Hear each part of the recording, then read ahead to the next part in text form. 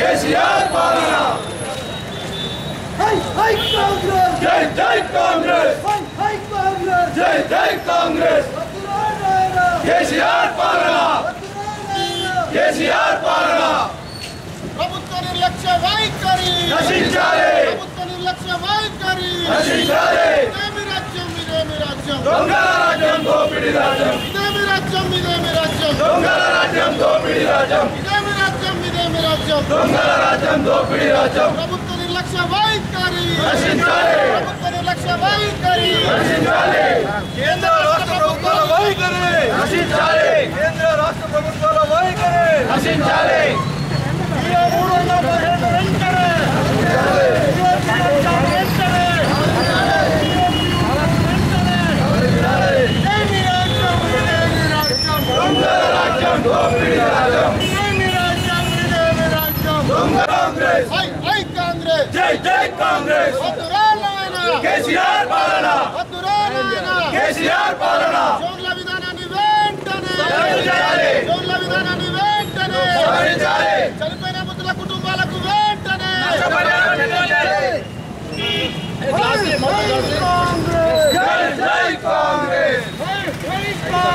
జై జై కాంగ్రెస్. జై కాంగ్రెస్. వెంటనే సవరించాలి అమరులైన ఉపాధ్యాయులకు అమరులైన ఉపాధ్యాయులకు నష్టపరిహారం చెల్లించాలి Congress party Congress party Congress party GO మూడు వందల పదిహేడు వెంటనే జీవో మూడు వందల పదిహేడు వెంటనే కాంగ్రెస్ పార్టీ కేసీఆర్ పాలన కాంగ్రెస్ పార్టీ కాంగ్రెస్ పార్టీ జిందాబాద్ కేసీఆర్ పాలన కేసీఆర్ పాలన కేంద్ర రాష్ట్ర ప్రభుత్వ నిర్లక్ష్య వైఖరి నశించాలి కేంద్ర రాష్ట్ర ప్రభుత్వ నిర్లక్ష్య వైఖరి నశించాలి ఐ ఐ కాంగ్రెస్ జై జై కాంగ్రెస్ హై హై కాంగ్రెస్ జై జై కాంగ్రెస్ హై హై కాంగ్రెస్ జై జై కాంగ్రెస్ విద్యార్థులకు నష్టపరిహారం చేయాలి మూడు వందల పదిహేడు జీవోతో చనిపోయిన విద్యార్థులకు ఉపాధ్యాయులు ఉద్యోగస్తులకు మూడు వందల పదిహేడు జీవోతో చనిపోయిన ఉద్యోగస్తులకు నష్టపరిహారం ఇవ్వాలి మూడు వందల పదిహేడు మూడు వందల పదిహేడు ఉపాధ్యాయులు వహించని పరిస్థితుల్లో ఉపాధ్యాయుని సోదరులు ఉపాధ్యాయులు కొంతమంది ఆత్మహత్య చేసుకుంటుకోవడం అదేవిధంగా పోలీస్ కానిస్టేబుల్ ఖమ్మం జిల్లాలో కూడా మరి ఆత్మహత్య పాల్గొ నిజంగా విచారకరం. ప్రభుత్వం గమనకాండ నశించాలి. మరి గౌరవ సుప్రీంకోర్టు న్యాయమూర్తి చీఫ్ జస్టిస్ గారు ఈ తెలంగాణ రాష్ట్రంలో జరుగుతున్న ఈ ఉపాధ్యాయుల ఆందోళనలు కాంగ్రెస్ నాయకుల ఆర్ఎస్లను కూడా తీసుకుని వెంటనే జీవో త్రీ రద్దు చేయడం చాలా ప్రశంసనీయంగా భావిస్తున్నాను. మరి సుప్రీంకోర్టు ప్రధాన న్యాయమూర్తి గారు పండిత పామరుల అభిమానాన్ని చూడగొంటున్న తరుణంలో ఈ ఈ ప్రజల ప్రొటెస్టును ఈ మా కాంగ్రెస్ నాయకుల జీవనన్న అసెంబ్లీ నాయకుల ప్రొటెస్టును సుమూటగా ప్రజాపిలుగా స్వీకరించి తక్షణమే రాష్ట్ర ప్రభుత్వంపై చర్యలు తీసుకోవాలని సందర్భాలు కొడుతూ మరి జీవన అరెస్టును ఖండిస్తున్నాము. వృద్ధుల కుటుంబాలకు మరి ఈ సందర్భంగా ఒక రెండు నిమిషాలు వాళ్ళ ఆత్మశాంతికై మౌనం పాటిద్దాం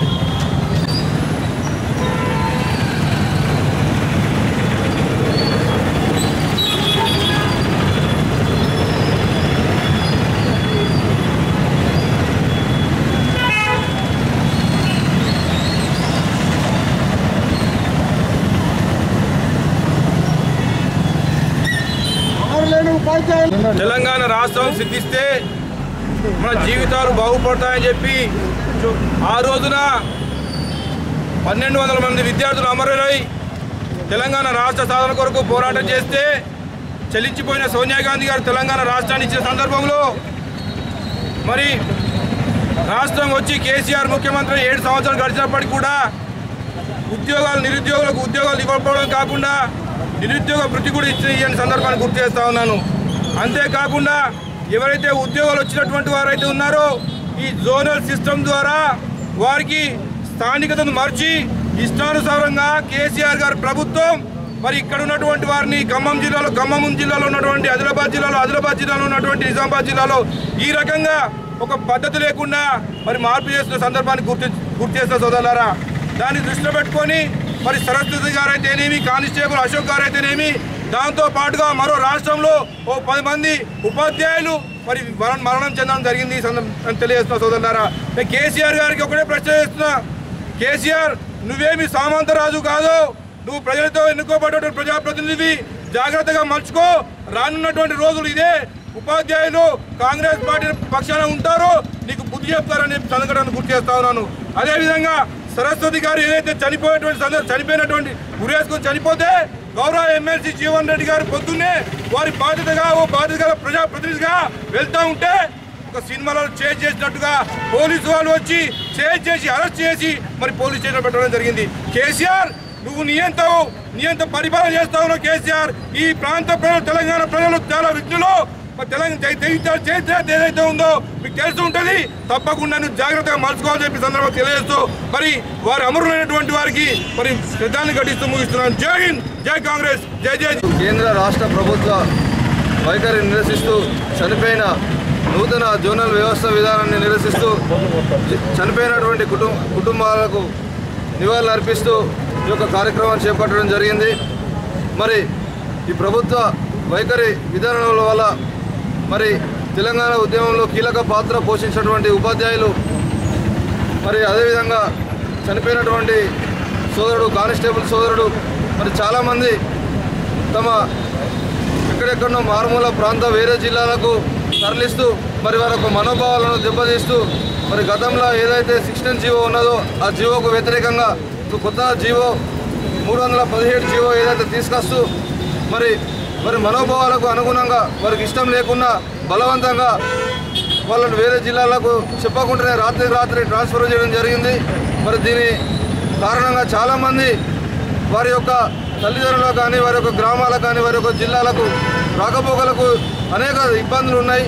కనుక ఈ జీవోను వెంటనే సవరించి మరి వాళ్ళకు న్యాయం చేయాలని చెప్పి ఈరోజు పెద్దలు ఎమ్మెల్సీ జీవన్ రెడ్డి గారి పక్షాన మేము జగిత్యాల జిల్లా కేంద్రంలో ఈ యొక్క కార్యక్రమాన్ని చేపడుతుంది. మరి అదేవిధంగా సోదరమణి వాళ్ళ పెద్దలు ఉదయం పూట భీమగల్ వెళ్ళి పరామర్శించే కార్యక్రమంలో మరి పోలీసులు వెంబడించి చేసి మరి అతి దారుణంగా అరెస్ట్ చేసి మరి ప్రజాస్వామ్య పద్ధతంలో పరామర్శించే హక్కును కూడా ప్రజాస్వామ్య పద్ధతిని కాలరాస్తూ మరి పెద్దలు వారి కుటుంబాన్ని పరామర్శించి వారి కుటుంబానికి అండగా చేదోడు వారుగా ఉండే ఒక భాగంలో కూడా వారిని అరెస్ట్ చేయడం చాలా బాధాకరమైన విషయం. మరి ప్రజాస్వామ్య పద్ధతిలో ఇలాంటి కార్యక్రమాలు చేయడం తప్పు. మరి ఎంతో దగ్గరలోనే ఉంది వారికి బుద్ధి చెప్పే ఒక రోజులు. మరి ఘనంగా నివారణ అర్పిస్తూ జోహర్ జోహర్! జియోను రాష్ట్రపతి ఆమోదించారు. బండి సంజయ్ గారు కూడా నాటకాలు చేస్తున్నారు. ఈ మూడు వందల పదిహేడు జియో కేసీఆర్ మోడీ ప్రభుత్వం తీసుకొచ్చి ఈ యొక్క ప్రభుత్వ ఉద్యోగాలపై చేస్తున్నారు. దీ- ఫలితంగా రాష్ట్రంలో ఉపాధ్యాయులు పోలీస్ కానిస్టేబుల్ అయినటువంటి వాళ్ళు ఆత్మహత్య చేసుకున్నారు. ఈ విషయం సార్కు Telangana. Early morning Jeevan Reddy sir వెళ్ళి వాళ్ళని పరామర్శించడానికి పోతే సార్ని అరెస్ట్ చేయడం జరిగింది. తీవ్రంగా మేము ఖండిస్తున్నాం. ఆ కుటుంబాలకు న్యాయం చేయ చేసి మూడు వందల పదిహేడు జీవోను రద్దు చేయాలని కోరుతున్నాం. మూడు వందల పదిహేడు జీవో అనేది ఈ రాష్ట్ర ప్రభుత్వం తీసుకొచ్చింది.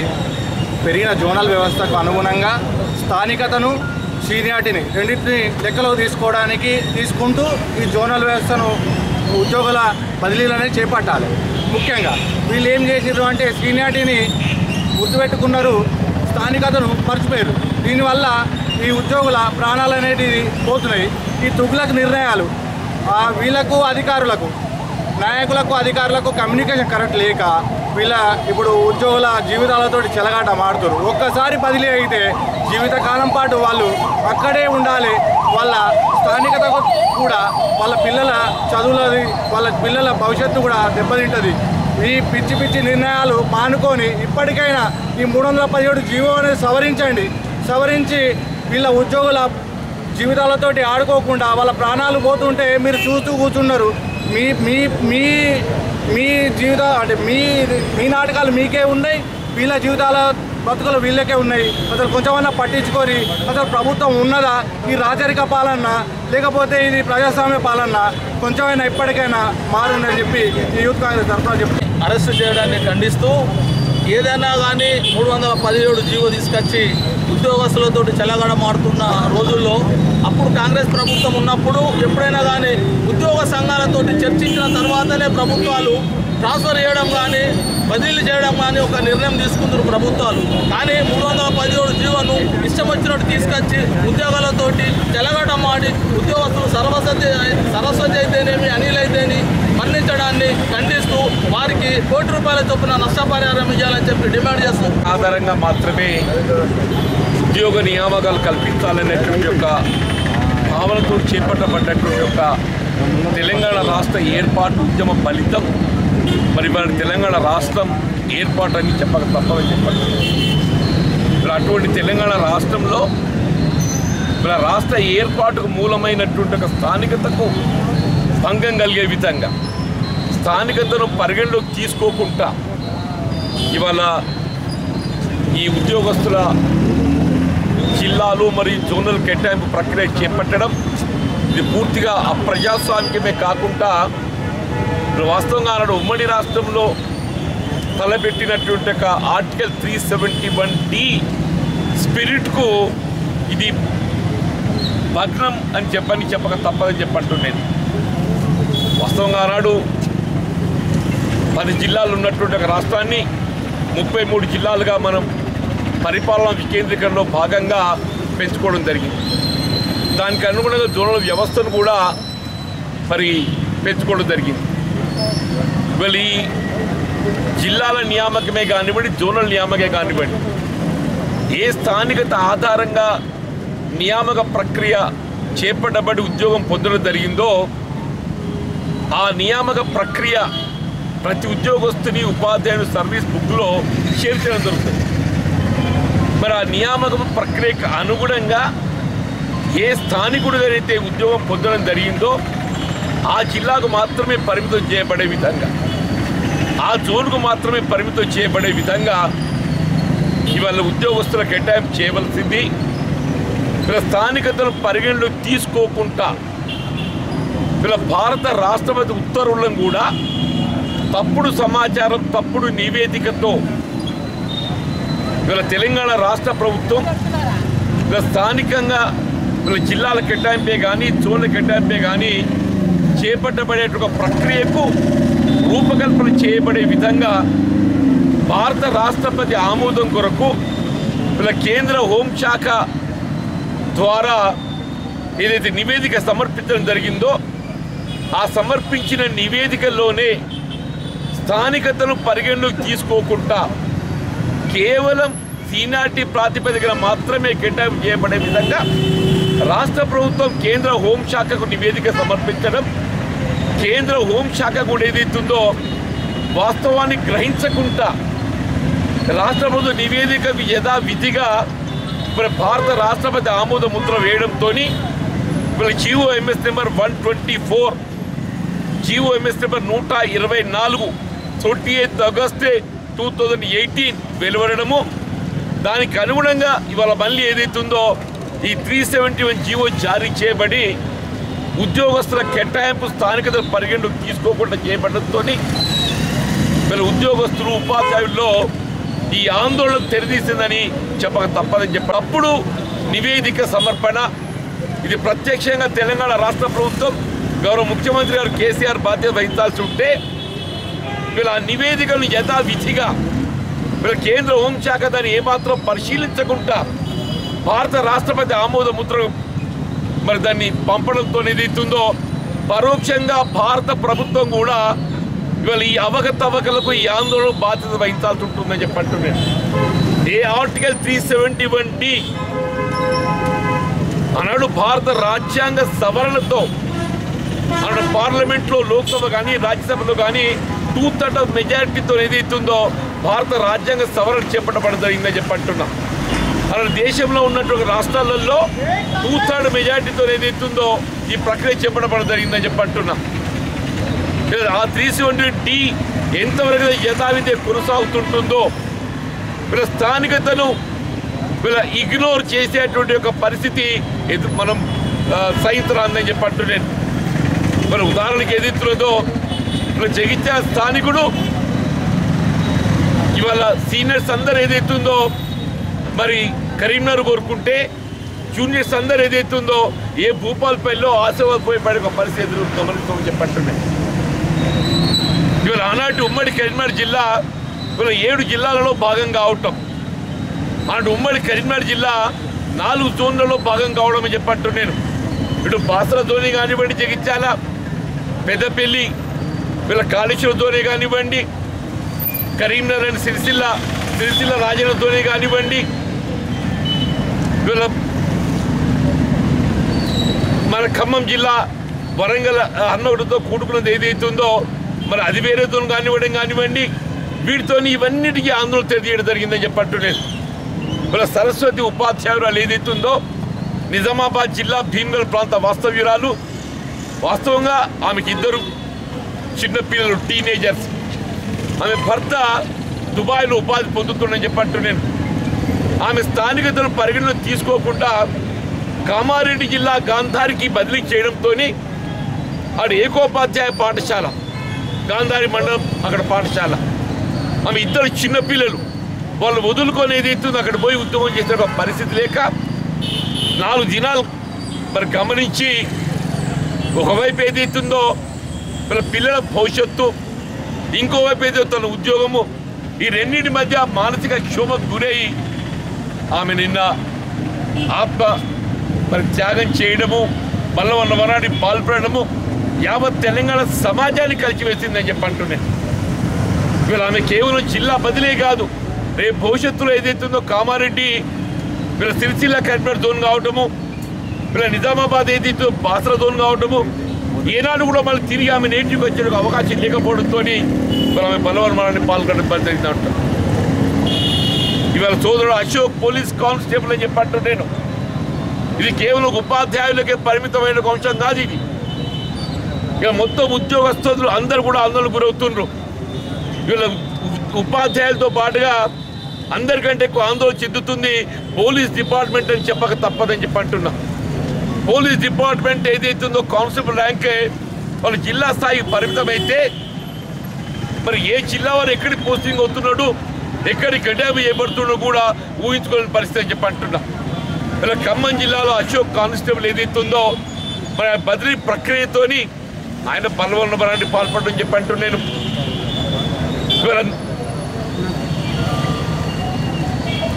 పోస్టుల నియామకంలో రిజర్వేషన్ ప్రక్రియ అమలు చేపట్టడంతో ముప్పై మూడు శాతం మన జగిత్యాల జిల్లా అనే ఉదాహరణ తీసుకుంటే ఇరవై మంది లేడీస్ సబ్ ఇన్స్పెక్టర్స్ మన జిల్లా కేటాయింపు చేయబడ్డారు.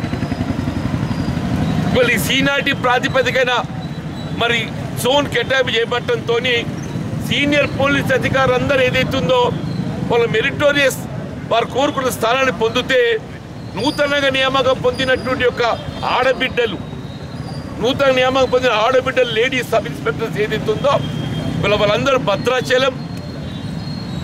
లేక ఇక్కడ మన పెద్దపల్లి మంత్రి ప్రాంతం గడ్డం చేపట్టడం వీళ్ళ ఆసిఫాబాద్ గడ్డం చేపట్టడం వాళ్ళ జీవిత కాలంలో ఏదైతుందో మళ్ళీ వాళ్ళ స్వస్థలాన్ని చేరుకునే అవకాశం లేకుండా పోయిందని చెప్పంటున్నాం ఉద్యోగస్తులు ఉపాధ్యాయులకు సంబంధించిన అంశమే కాదు యావత్ తెలంగాణ సమాజానికి సంబంధించిన అంశం అని చెప్పి అంటున్నాను ఈ బదిలీ ప్రక్రియతోనే ఇక్కడ మన చైత్యాలు చెందినటువంటి ఒక ఉపాధ్యాయురాలు ఏదైతుందో ఆమె భూపాల్పల్లి కిడ్నాప్ చేయబడడం జరిగింది అంటున్నాను చైత్యాల జిల్లా చెందిన ఉపాధ్యాయురాలు భూపాల్పల్లి కిడ్నాప్ చేయబడితే ఇప్పుడు ఆమెతో పాటుగా పిల్లల్ని ఇక్కడికి వెళ్ళి భూపాల్పల్లి తీసుకపోతే వీళ్ళు ఏదైతుందో మరి భూపాల్పల్లి స్థానికత వస్తుందని చెప్పంటారు వాళ్ళు పుట్టింది జగిత్యాల స్థానికత జగిత్యాల. కానీ ఉద్యోగం భూపాల్పల్లి కిడ్నాప్ చేయబడడంతో వాళ్ళు భూపాల్పల్లి నేటివిడిగా మరి కాలుష్యం జోన్లు పోతారు జగిత్యాల బాసన జోన్ అని చెప్పి అంటున్నా. పుట్టిన జోన్ ఒకటి పుట్టిన జిల్లా ఒకటి పెరిగే జోన్ ఒకటి పెరిగే జిల్లా ఒకటి అని చెప్పి అంటున్నా. స్థానికతకి ఏమాత్రం కూడా సంబంధం లేకుండా వీళ్ళ భవిష్యత్ తరాలను ఏదైతుందో ఆందోళన గురి చేస్తుందని చెప్పి అంటున్నా.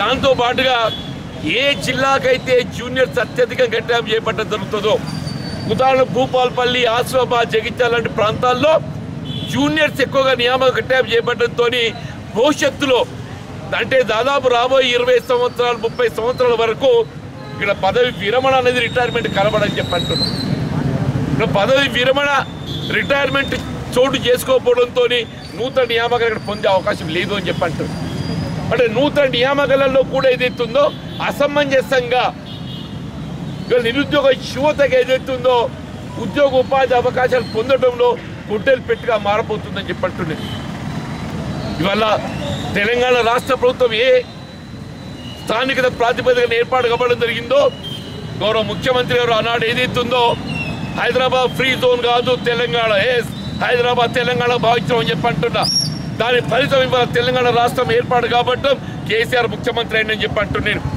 అలా నువ్వు ముఖ్యమంత్రి కావడానికి తెలంగాణ రాష్ట్రం ఏర్పాటు కావాలి. నువ్వు ముఖ్యమంత్రి కావడానికి స్థానికత ఉద్యమం చేపట్టబడాలి. కానీ ఇవాళ స్థానికతను పరిరక్షింపబట్టడానికి ఏదైతుందో నీకు చిత్తశుద్ధి రూపించిందని చెప్పంటున్నా. అసలు తెలంగాణ రాష్ట్ర ఏర్పాటు లక్ష్యమే నీరు కారిందని చెప్పంటున్నా. దీన్ని కేసీఆర్ ప్రత్యక్షంగా బాధ్యత వహించాలి. దాంతో పాటుగా ఇలా భారత ప్రభుత్వం కేంద్రంలో అధికారంలో ఉన్న భారతీయ జనతా పార్టీ కూడా. ఏ తెలంగాణ రాష్ట్ర ప్రభుత్వం ఇవాళ కొత్త జిల్లా ప్రాతిపదికన జోనల్ ప్రాతిపదికన కేటాయింపులు చేపట్టడానికి భారత రాష్ట్రపతి ఆమోదం కొరకు నివేదిక సమర్పించడం జరిగిందో ఇలా కేంద్ర హోంశాఖ దాన్ని ఏమాత్రం కూడా పరిశీలించకుండా ఏ త్రీ సెవెంటీ వన్ డికి అనుగుణంగా అమలు చేయబడవలసినటువంటి ఉత్తర్వులను పరిశీలించకుండా భారత రాష్ట్రపతి ఆమోద ముద్ర వేపించడంతో ఇవాళ ఈ గందరగోళం తీసిందని చెప్పండి ప్రత్యక్షంగా తెలంగాణ రాష్ట్ర ప్రభుత్వం బాధ్యత వహిస్తే పరోక్షంగా భారత ప్రభుత్వం భారతీయ జనతా పార్టీ కూడా బాధ్యత వహిస్తారని చెప్పట్టు నేను ఇలా భారతీయ జనతా పార్టీ ఏదైతుందో మీరు రేపు అధికారానికి వస్తే దీన్ని సవరిస్తామని చెప్పట్టు ఇది ఆశ్చర్యమే చెప్పట్టు నేను నువ్వు ఎన్నడూ అధికారం రావాలి ఎన్నడ సవరించాలి. ఇక్కడ ఈ బదిలీ ప్రక్రియలో అసలు బాస్తున్నట్టు ఉద్యోగస్తుల కుటుంబాలు ఏం కావాలి నాయన నువ్వు? నీ చేతుల్లో దస్త్రాన్ని ఏదైతుందో నువ్వు పరిశీలించకుండా నీ అమిత్ షా గారు ఏదైతుందో ఆమోద ముద్ర వేసి భారత రాష్ట్రపతి ఆమోద ముద్ర వేసి రేపు నాకు అధికారం వస్తే నేను పరిశీలిస్తాను ఇది ఎక్కడ ఆయన? ఆశ్చర్యం కలుగుతుందని చెప్పంటున్నా. ఆ ఉమ్మడి రాష్ట్రంలో ఏ కాంగ్రెస్ పార్టీ తెలంగాణ ప్రాంత వాస్తవ్యుల హక్కులను పరిరక్షింపబడే విధంగా తెలంగాణ ప్రాంతాన్ని స్థానికతను పరిరక్షింపబడే విధంగా పంతొమ్మిది వందల డెబ్బై ఐదులో వీళ్ళ ఆర్టికల్ త్రీ సెవెంటీ వన్కి ఏదైతుందో సవరణ చేసి త్రీ సెవెంటీ డీని అమలు తెస్తే దాని ఫలితంగా వీళ్ళ తెలంగాణ ప్రాంతంలో ఏదైతుందో స్థానికత పరిరక్షింపబడుతుంది. అటువంటి త్రీ సెవెంటీ డి ద్వారా కల్పింపబడే హక్కులను నీరు కార్చే విధంగా ఒక కుట్రపూరితంగా.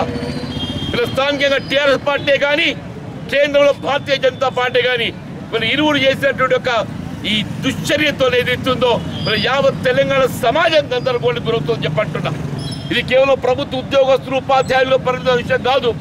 ఇలా భవిష్యత్ తెలంగాణ సమాజానికి సంబంధించిన విషయం అని చెప్పంటున్నాను నేను భవిష్యత్ తెలంగాణ నిరుద్యోగ యువత సంబంధించిన విషయం చెప్పి అంటున్నా.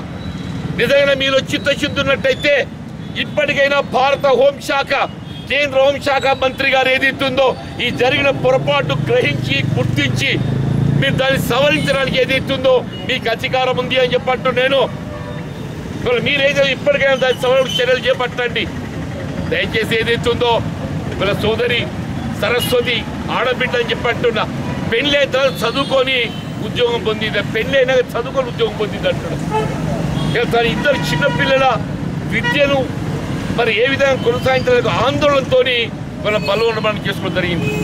మా కానిస్టేబుల్ అశోక్ చెప్పంటూ నేను పోలీస్ డిపార్ట్మెంట్ మరి మా రక్షక బట్టలు చూస్తుంటే మాకే భయం వేస్తుంటుంది ఆ పాప వాళ్ళు.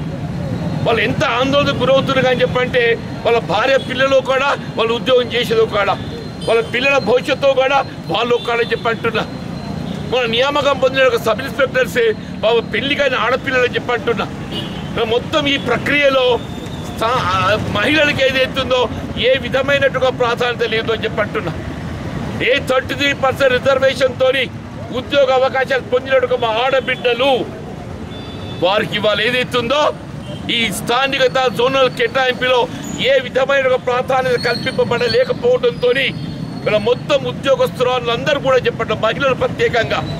వాళ్ళటు భర్తలు వదులుకొని ఉండలేరు. ఇటు పిల్లలు వదులుకొని ఉండలేరు.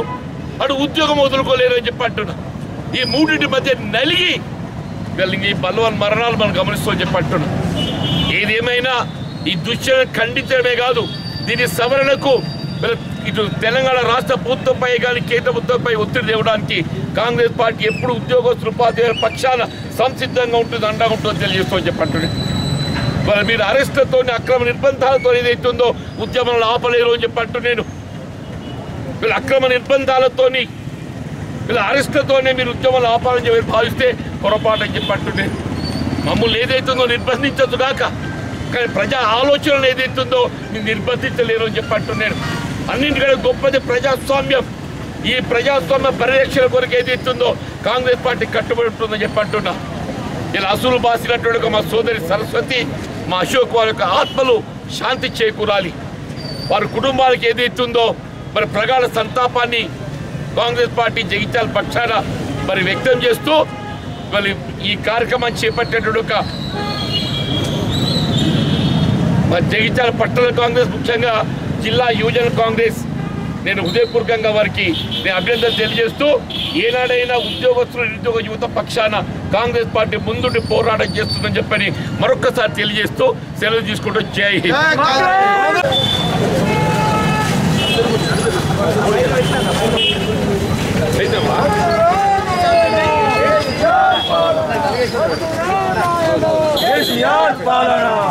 హింద్ అయితేమ్మా? కేసీఆర్ పాలన ఏం కట్టవయ్యా ఊరికి గుండ్రు అది రెండు